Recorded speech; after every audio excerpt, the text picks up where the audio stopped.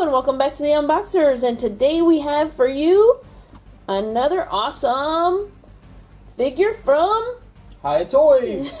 it's Injustice 2 Batman. Batman Yes. variants, it says. Ta da!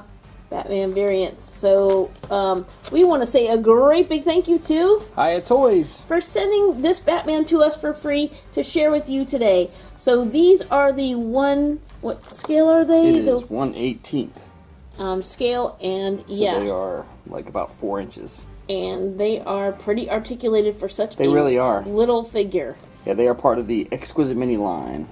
Awesome. So this is part of uh, it says Batman variants. What does it show on the back? Is it two different poses Um, of the same? Yeah, I think it's two One. different. Awesome. Let's put it like that. There we go.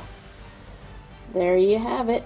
Um, let's go ahead and take a look at does he what he comes with. So it looks like ooh, he comes with like three batarangs. Yeah, Right. yeah, it looks like you got yeah a couple batarangs, the back grapple. I think that's some extra hands. I can't- Yeah. And then they And of course always come with an awesome stand. So, um, we're going to go ahead and get this Batman out of the box so we can give you a much closer look without all this glare. We'll be right back.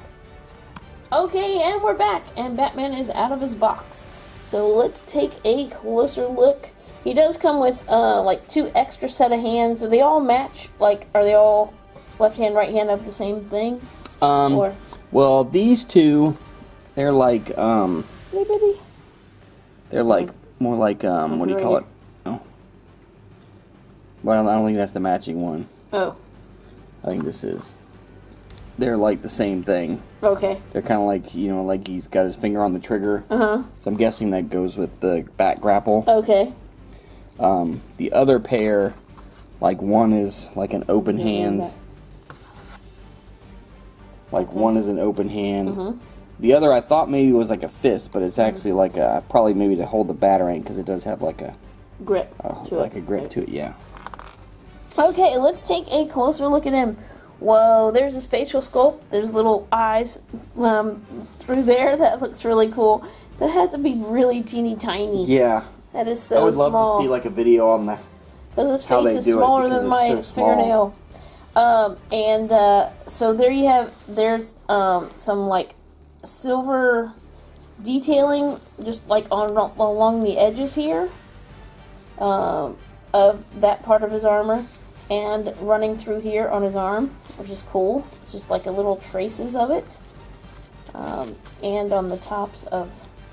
I don't ever know what those are called on his gloves, but anyway, on the tops of those. Yeah, I don't know if there's a name. I mean, the actual thing itself is like a gauntlet, but I don't know what those. But anyway, I think that's cool. It makes it cool. stand out, especially on display. It's going to reflect the light and help his suit show up better. That's really cool. Um, his and he's got some under here. You can see the little silver detailing under there, um, as well as his belt is like um, a deep gold or brass type color, with some silver detailing in there.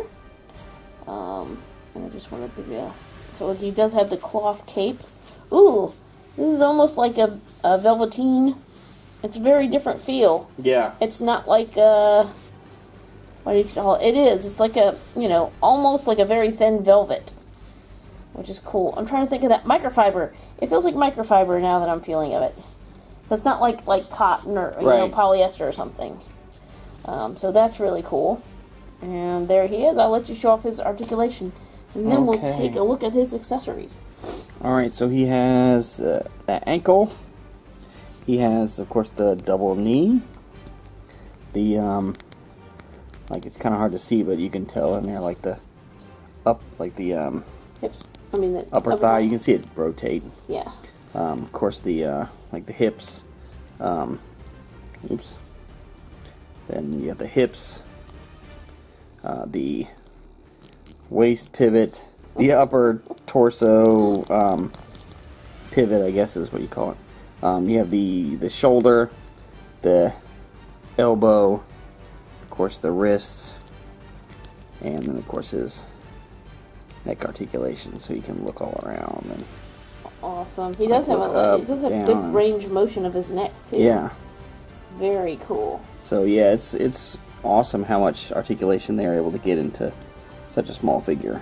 And these come with stands with um, one peg on there. Um, there's holes in the bottom of his feet, and also um, they're colored by um, by who you know by the DC character or the, all the DC. Well, like yeah, like the uh, all of the Injustice ones have this like purple Okay. design.